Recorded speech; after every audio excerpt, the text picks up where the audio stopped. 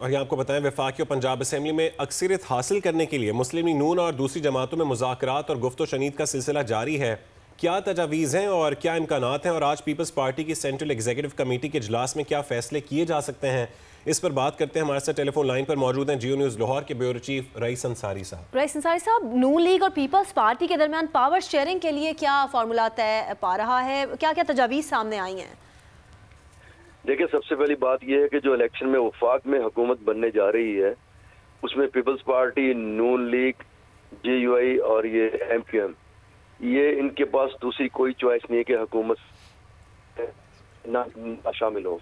क्योंकि एक भी पार्टी अगर पीपल्स पार्टी या नून अलहदा हो तो फिर उसमें हुकूमत बन ही नहीं पाएगी। क्योंकि पीटीआई तो किसी को साथ मिलाने को तैयार नहीं पीटीआई को कोई साथ मिलाने को तैयार है। इस सिलसिले में जो बाकायदा जो इनकी जो मीटिंग हुई है अपना नून लीग और पीपल्स पार्टी उसमें मुख्तलिफ़ तजावीज सामने आई। उसमें जब, जो साहब बैठे तो पीपल्स पार्टी ने ये वाजिया किया कि हमारी तरफ़ से सी सी ने जो फैसला किया था, वो प्राइम मिनिस्टर रावल भट्ट होंगे। कि ढाई साल टर्म हम, ढाई साल की टर्म आप ले लें। इस पर पीपल्स पार्टी ने जवाब दिया कि ये बात आपके तजावीज है, ये सी लेकर जाए अगर सी सी ने इसको अप्रूव किया तो फिर हम उसको आगे लेके चलेंगे। हमारे कहते हैं, अगर सी ने ऐसा अप्रूव भी किया और भट्ट जो है, मेरा ख्याल है कि वो इसको कबूल नहीं करेंगे, वो हुकूमत हिस्सा नहीं बनेंगे।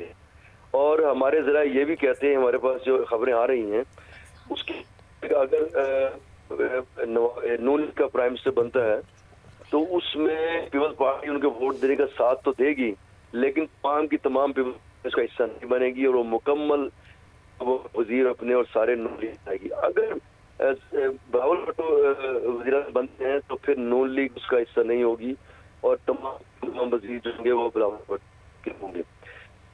ठीक है बहुत बहुत शुक्रिया bureau chief Geo News, Rais Ansari साहब, आप हमसे गुफ्तु